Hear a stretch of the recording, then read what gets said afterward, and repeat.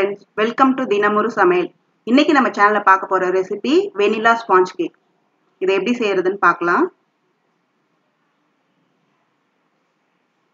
இதுக்கு ஒரு பவுலில் வந்து நாலு முட்டையை வந்து உடச்சி ஊற்றிக்கோங்க ஒரு கப் சர்க்கரையை வந்து நான் வந்து மிக்சியில் வந்து பொடி பண்ணி வச்சுருக்கேன். ஒரு விஸ்க்கு வச்சு இந்த முட்டையை வந்து நல்லா அடிச்சுக்கோங்க. நல்லா நுர வர அளவுக்கு நல்லா அடிச்சுக்கோங்க.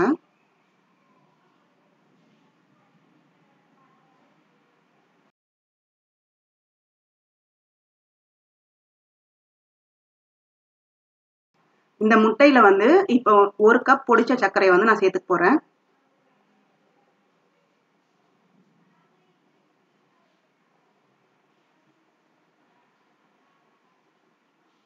இதை ரெண்டுத்தையும் சேர்த்து நீங்க நல்லா கலந்துக்கோங்க.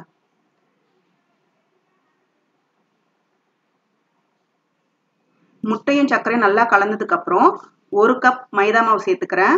ஒரு டீஸ்பூன் பேக்கிங் பவுடர் சேர்த்துக்கிறேன். ஒரு டீஸ்பூன் வந்து வெனிலா எசன்ஸ் சேர்த்துக்கிறேன்.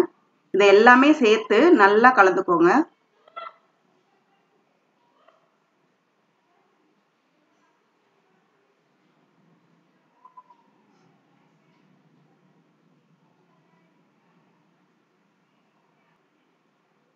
எல்லாமே நல்லா இந்த மாதிரி கலந்துக்கோங்க. இது கூட வந்து இப்போ அரை கப் வந்து வெண்ணெயை வந்து உருக்கி சேர்த்துக்க போறேன். இப்போ மறுபடியும் எல்லாத்தையும் நல்லா கலந்துக்கோங்க. நான் இந்த கேக் மாவை வந்து ஒரு மோல்டில் வந்து இப்போ ஊற்றிக்க போகிறேன் நான் வந்து இன்னைக்கு வந்து ரெக்டாங்கிள் மோல்டு எடுத்திருக்கேன். உங்ககிட்ட ரவுண்ட் மோல்டு இல்லைன்னா எந்த கேக் மோல்டு இருந்தாலும் எடுத்துக்கோங்க. அப்படி இல்லைன்னா நீங்கள் வீட்டில் வச்சுருக்க கிணத்துல கூட இதை வந்து நீங்கள் ஊற்றிக்கலாம் மோல்டில் வந்து நான் வெண்ணெயை வந்து உருக்குன வெண்ணெயை கொஞ்சம் போட்டு இந்த மாதிரி ப்ரஷ் வச்சு எல்லா எல்லா இடத்துலையும் வந்து தடவிக்கிறேன். ஸோ கேக் வந்து ஒட்டாமல் உங்களுக்கு வரும். இப்போ கொஞ்சமாக மைதா மாவு சேர்த்து இதை நம்ம டஸ்டிங் பண்ணிக்கலாம். இந்த மாவு வந்து எல்லா இடத்துலையும் படணும்.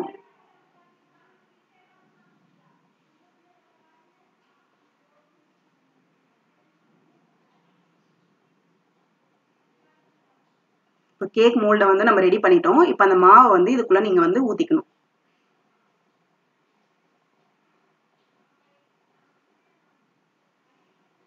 இன்னைக்கு வந்து நம்ம ஓவன் இல்லாமல் குக்கரில் செய்ய போகிறோம் ஸோ நான் ஒரு குக்கரை வந்து என்ன பண்ணியிருக்கேன்னா ஒரு பத்து நிமிஷம் வந்து ஸ்டவ்வில் வச்சுருக்கேன். ஸோ அது வந்து நல்லா ஹீட் ஆகிருக்கும் இப்போ இந்த மோல்டு எடுத்து அந்த குக்கரில் நம்ம வந்து வைக்கணும்.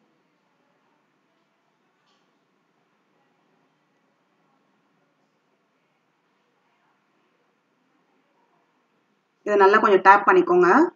இப்போ இந்த குக்கர் வந்து பத்து நிமிஷம் நல்லா ஹீட் ஆயிருக்கு. இதை ஓப்பன் பண்ணி ஃபஸ்ட்டு வந்து ஒரு நான் உள்ளே வந்து ஒரு ஸ்டாண்டு வச்சுருக்கேன். உங்களுக்கு வேணும்னா நீங்கள் வந்து உப்பு கூட போட்டுக்கலாம். ஒரு லேயர் வந்து நீங்கள் உப்பு கூட போட்டுட்டு அதுக்கு மேலே வந்து இந்த மோல்டை வைக்கலாம். நான் இன்னைக்கு வந்து ஒரு ஸ்டாண்ட் வச்சுருக்கேன். இதுக்கு மேலே வந்து இந்த மோல்டை வைக்க போகிறேன் இப்போ இந்த மூடியை போட்டு ஒரு அரை மணி நேரம் வந்து மீடியம் ஃப்ளேமில் வந்து வச்சுக்க போகிறேன் அரை மணி நேரத்துக்கு அப்புறம் வந்து இந்த கேக் வந்து ரெடி ஆகிடும் இப்போ இந்த கேக் ரெடி ஆயிடுச்சு. எவ்வளோ ஈஸியாக ரெடி பண்ணிட்டோம் பார்த்தீங்களா ஸ்பாஞ்ச் கேக் வந்து இனிமேல் கடையில் வாங்காமல் நம்மளே வீட்டில் வந்து ஈஸியாக செஞ்சிடலாம். கண்டிப்பாக நீங்கள் இதை ட்ரை பண்ணி பாருங்கள் இந்த வீடியோ உங்களுக்கு பிடிச்சிருந்தா லைக் பண்ணுங்கள் உங்கள் ஃப்ரெண்ட்ஸ் கூட வாட்ஸ்அப்பில் ஷேர் பண்ணுங்கள் மறக்காமல் நம்ம சேனலை சப்ஸ்கிரைப் பண்ணுங்கள் பக்கத்தில் இருக்க பெல் ஐக்கானை கிளிக் பண்ணுங்கள் தேங்க்யூ